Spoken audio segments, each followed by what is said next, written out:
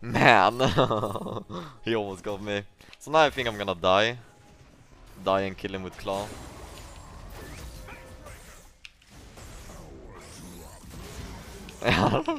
Come back here!